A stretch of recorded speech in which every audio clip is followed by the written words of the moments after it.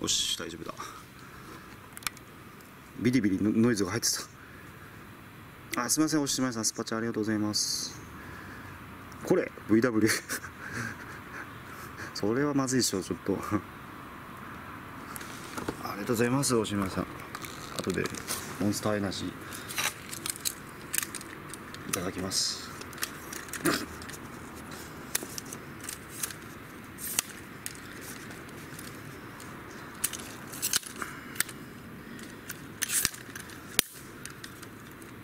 ん霞があってなんか雨雨降った後みたいだね。うん。ちょっと今三脚立たさしてもうダメだ。安定性がねここ。ぶっ倒れて壊れちゃったら嫌だからさ。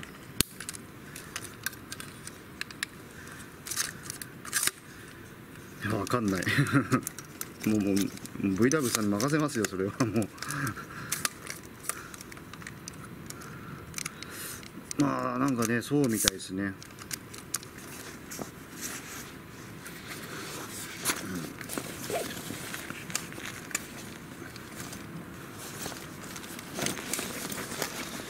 霞がかってるのはおそらく乱反射も光もあれもあるかと。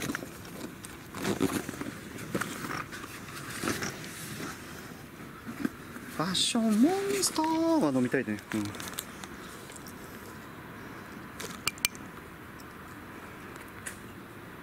うん。もやもがかってんな少しガスってんだよ今日。雨上がりで。これどうなんだろう仮装されたのかな？どうなんだろう？あれまた雨降ってきてる。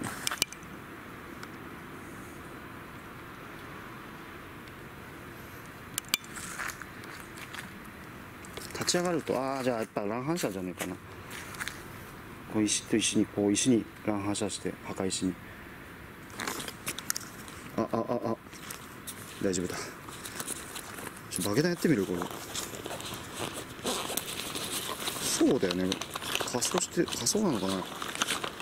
もうだって土葬は明治初期ぐらいでしょ。終わったのって。仮装になったでしょ日本って。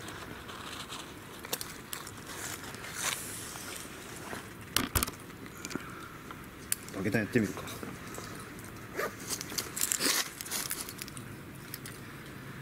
うんそれはそうですね。お墓だからね。まあいないかな。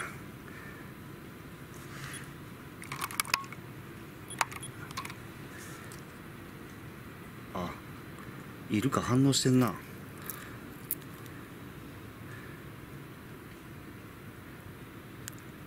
もうもう一丁。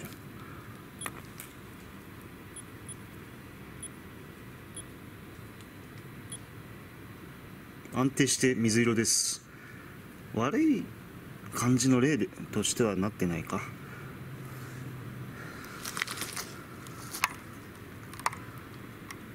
映像が見えなくなっちゃう。安定して水色ですね。え？殺されるところ見見えた？どういうこと？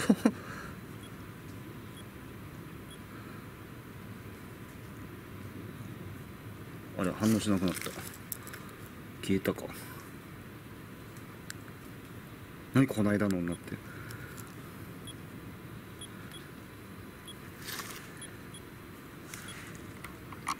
あまた水色になった。少し反応し始めてきたか。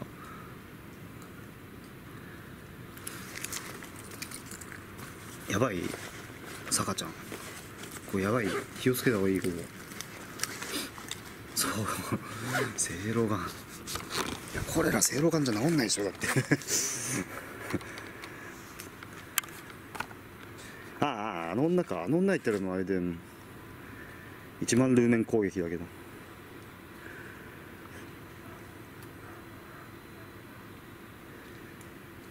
骨はそうですよね。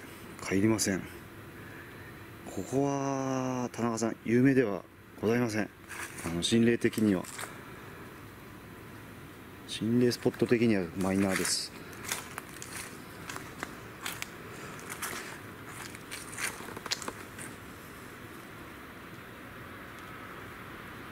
焼けいいのかな？しかし4848人の墓？それ48体以上墓石があるけどな。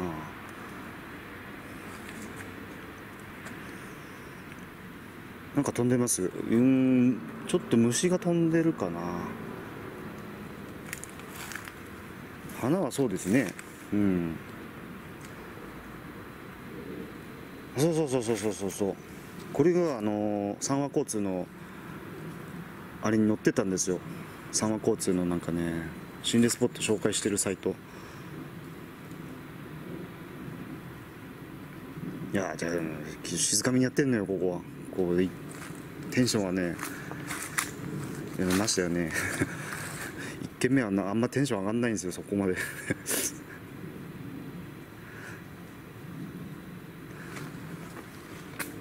生ライブですね。民家どっかあっちの方に行くとあると思うんだよね。多分あるよ。あんま静かにしないとこらーって怒られちゃう。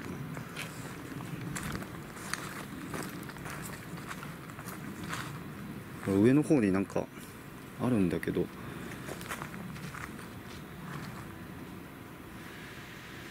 いやもう数えちゃった。ごめん。さかちゃんが数えちゃったもう大丈夫大丈夫。VW さん大丈夫。あ東出さんお疲れです。今日はもう FPS がほとんどだな。自分一人で撮影だからな。FPS モードだなほぼほぼ。今日今日とりあえず3箇所予定してるけどほぼほぼ FPS ゲームです今日は。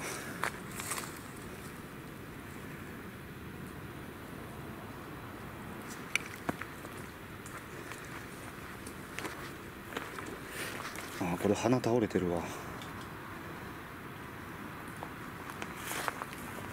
でもあそこにライトあの電柱のなんかそのライトがあるからなこれ。一応ね。わかんない2箇所になっちゃうかもしれないけど。明日もあるからさ。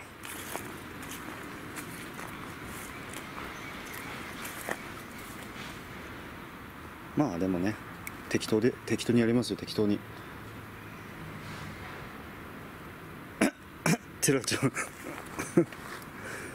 それ俺が言おうと思ったのに。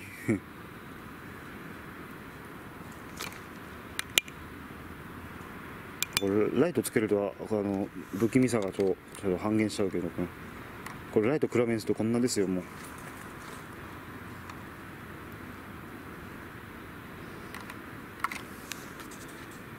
今日は僕はカメラマンに徹しますよ。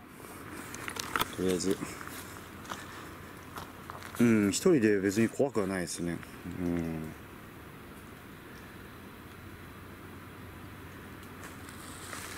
雰囲気やばい。あナベルさんこんばんはす。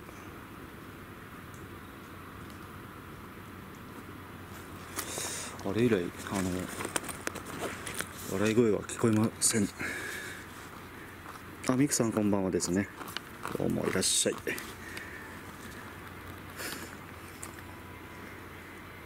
そうですね。地元うん。多分地元の人が。あでも倒れてんのもあるんだよな。花瓶が。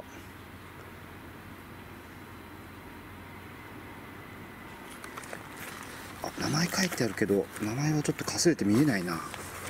あ分からん分からんこれ。結構古いな。水槽ん？水水水。笛の音した。お待って待ってラップ音した。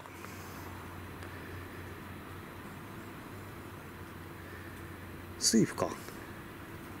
ラップ音しちゃった今。あやべ耳耳鳴りがする。はいはいはいベルサさん無理なさらずに。下から。下から当てると見やすいか。こう難しいな。水イって書いてあるねこれ。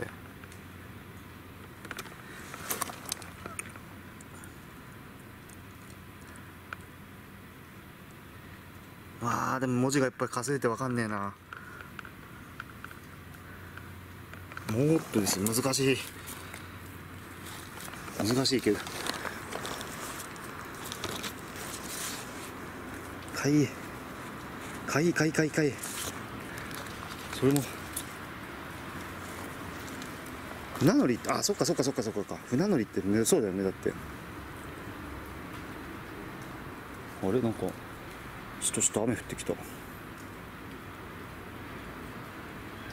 天網開会え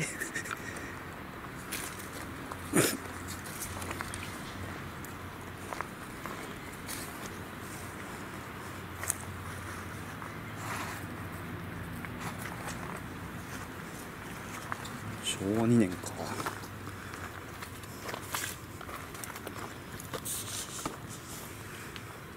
でこれはその慰霊碑なのかなこれ。中根碑ってやつか。雨雨でもあ違うわ。昨日あれだ。雫だ。雨降った後の。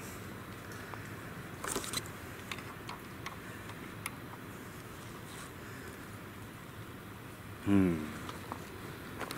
特になんか今のとこその三和交通であれ確かニコ生でやってるでしょ確かあの長尾さんって人だっけ？そそれでなんか言ってるはずなんだけどなこれ。これ？これあの英霊のお墓です。コレラになって来られたしお亡くなりになった英霊のお墓です。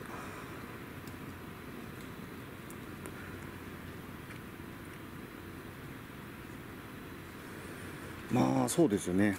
うん。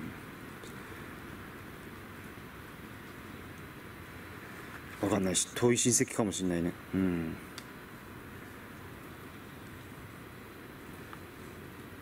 まあ、一応あの大月さん？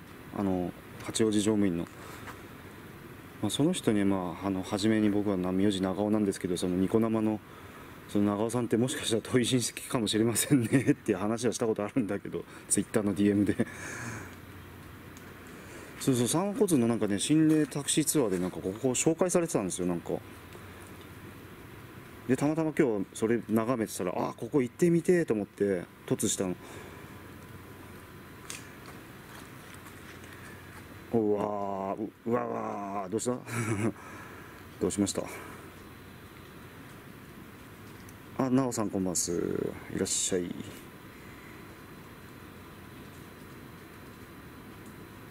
なんか男の声した？テオさん。イヤホンつけてらっしゃいますかね？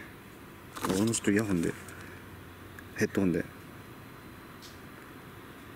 や今日一人。ポポさん一人で一人。ここの曰くはね特にね書いてなかったんだよ。その三和交通のサイトに。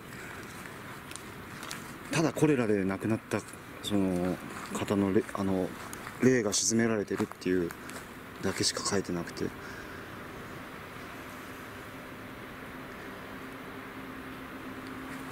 っと遠目から撮るか。全体像こう。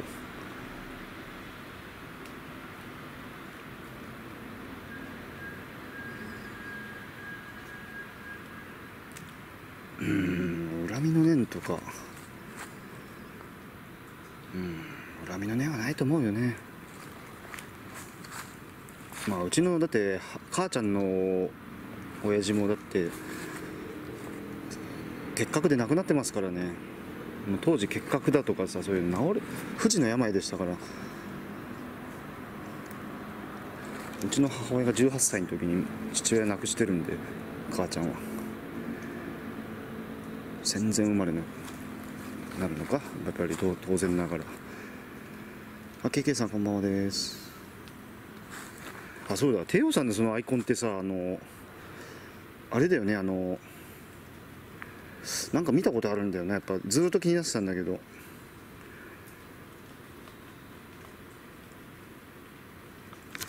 声が微妙微妙に響いてる。あ多分ヘッドホンから流れてくる。音声が多分スマホの方になんか拾っちゃってるのかもしれない、まあ、ヘッドホンつけてるからさカメビデオカメラの方に。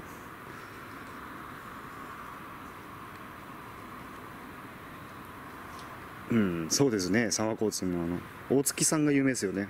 八王子乗務員八王子あ八王子乗務員じゃ八王子営業所の乗務員大月幸太郎さん。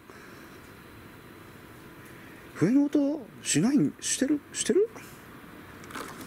あ笛の音聞こえないんだよね。だから車のあれじゃない？ブレーキ音じゃないかな。はい初見さんいらっしゃい。もう大月さんツイキャスやってますからね今今では。大月幸太郎さん。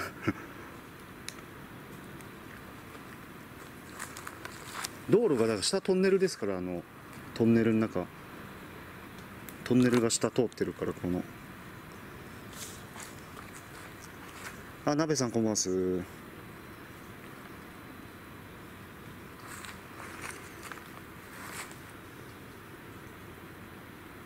そう下は道路ですからね。でもそんな交通量は多くないです。なんか全然車通ってなかったな。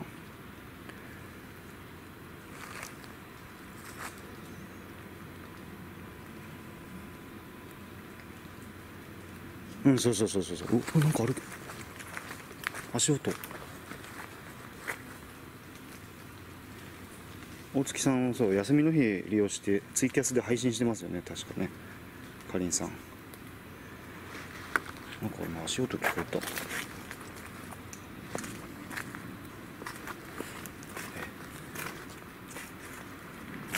わちょっと歩きづれえなこれ。誰かいんのか。枯葉を踏むような音が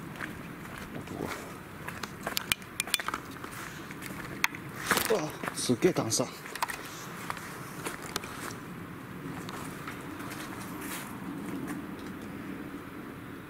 そうそうそうそう。心霊番組あの「世界の怖い夜」か。あ世界の怖い夜じゃねえな。恐怖映像ノンストップか。あの秀中山の。か確か。あでも世界の声よりも出てたか。お民家あるんだよねここ。ほら民家。あ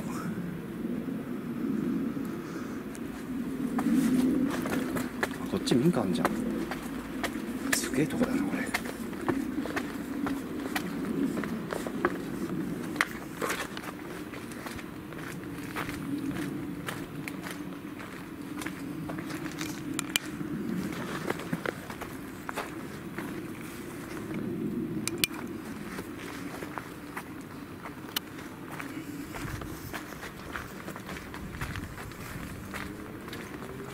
なんかあったね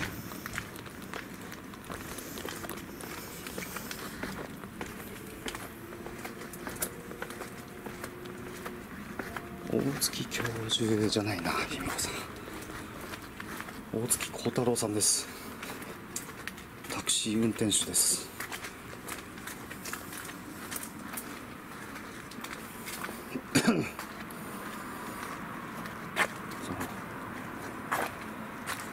一番ルーメンすごいでしょ。そう民家ある。はい家庭さんこんばんは大月教授あの早稲早稲田大学の 教授ですよあれは。うんガスってるかな。民家あるあるある。うん。大月幸太郎さんです。覚えておいてください。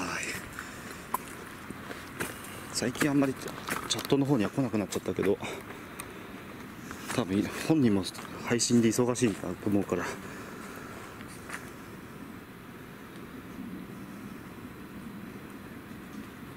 今年もやるのかね恐怖映像ノンストップ。今年もやるでしょ夏絶対に。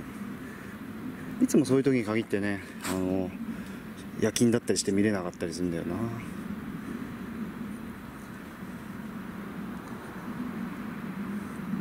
ん？あの最恐怖映像ノンストップってあるの？バスに乗ってさあの秀中山とかのあと高田も多分出てたりするか。高田。あの総合格闘家の。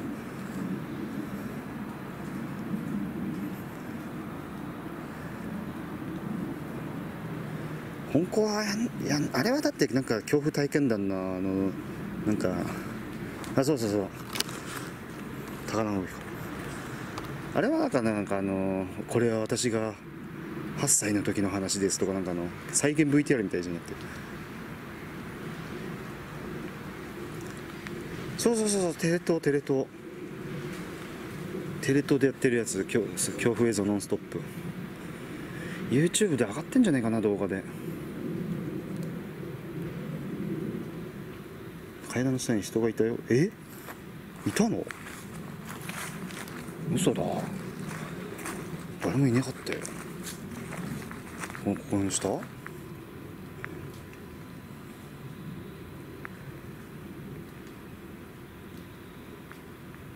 そうそうそうそう。高田出てますよね。最強ノンストップで。稲垣吾郎の本コアの方ね。そういたの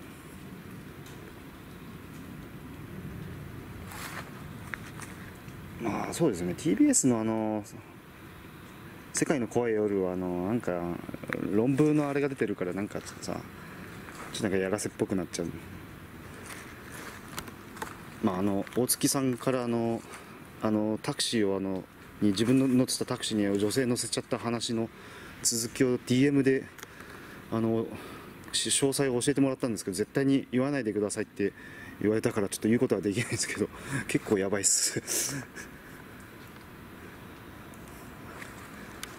その後の話女性はどうなったかそのあそこの八王子のあたりのあの。あどうもダイナモさんこんばんはす。あ落ち着きました？どうも。はい若子さんこんばんは。ここはでも特になんか現象は起きないですね。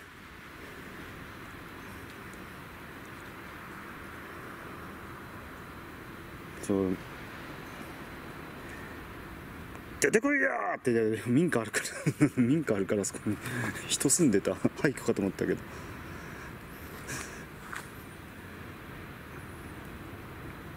はいおじさんさんこんばんはす。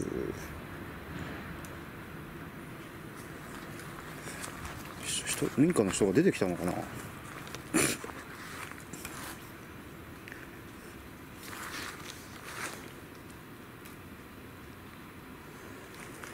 うん。俺も怖い感じはしないね。ただ雰囲気が怖いだけでねこれ。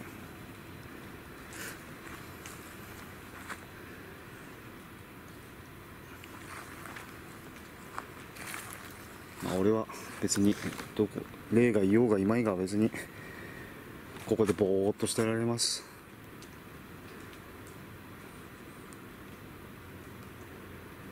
あちょっと待って。あれ？なんだ今に黒い影みたいな後ろ通った？あれ？黒い影と見えたんだけどなんかあれ？気のせいかな？は？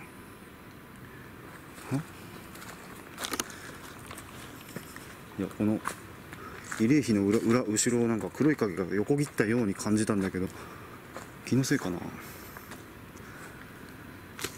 ライトの加減かな？なんとなくそんな感じが今ちらっと見た見た時に肉眼で。うんなんかこの後ろをヒューってなんか。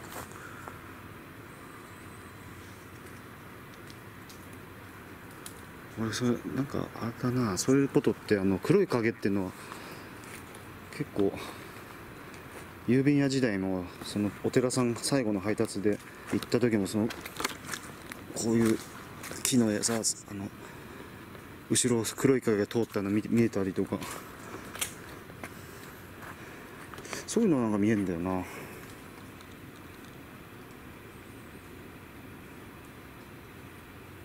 気のせいだといいんだけど。あ俺ねライトね、うん、消えたことある。あの B 研究所で買ったライトがいきなり消えた。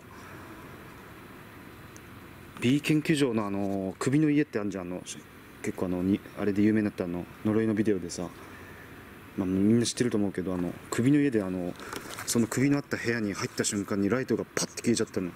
買ったばっかのライトだよ。まだあの500ルーメンぐらいのライトで撮影してた時だったんで。B 研究所じゃなくて BE BE 研究所。テラちゃん。BE だよ E ライトが一気に部屋入った瞬間にパッて消えちゃってさ。は？って。買ったばっかのライトだぞこれ。っつって。そう BE そう VW さん BE あともきさんこんばんはそうそうそう熱海にあるんですよ。熱海のと箱根の境ぐらいのところに。あの首の家ってあのそうそうそうそうそう首のマネキンあるやつそうそうそうそう。そこもう今マネキンはないんですけどそのマネキンがあった部屋に入った瞬間に買ったばっかのそのその日のうちにビッグカメラで買ったライトなんですけどそれがなんか切れちゃったのいきなり。パッて一瞬。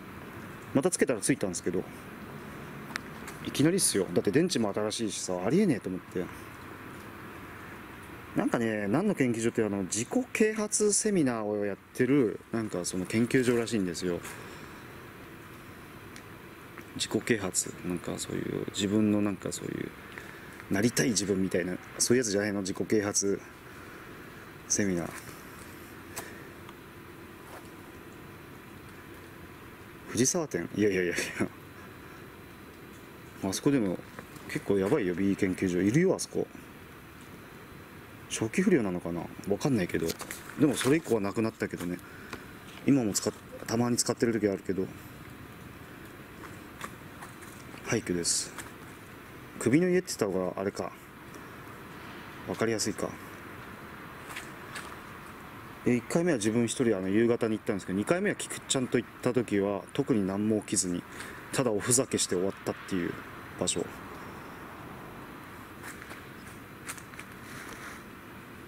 2回目行った時はなんか菊ちゃんがなんかなんかさなんかあれださ菊ちゃんがスクショしてくれてなんか顔みたいな映ってるみたいな。あれ菊ちゃんじゃなかったっけな。思い覚えてねえやもう。しょっくりしてない。鼻すすったけどなんか鼻がムズムズしてきた。あおやすみなさい動物さん。どうも。ありがとうございます。さあそろそろ行くか。特に現象は起きず。そう機械音になるのは今イヤホンつけてるからイヤホン外すか。邪魔だし。これこっから音がね俺の声がねあの拾っちゃってんだよこれ多分、まあ、ここえー、っと危険度評価1ちょっとカバに入れさせて。危険度評価1です下知らないね俺特には。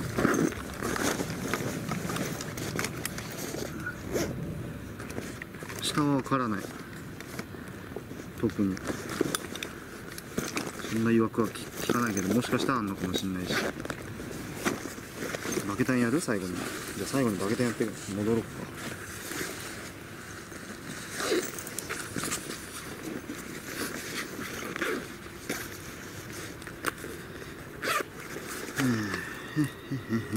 多分大丈夫かなここは。やばいとこはすぐ赤になるから。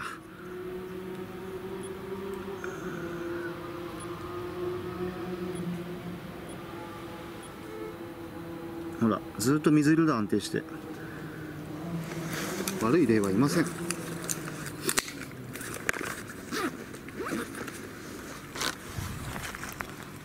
しそんな感じで次行きます。あほであでも歩きづれんだよここ自分物理的にそう危険度評価1です。そう恐怖恐怖レベル1え今の声何？え？いや俺俺があれでつまずいたからだそううわーっつって。すげえなこの階段が。じ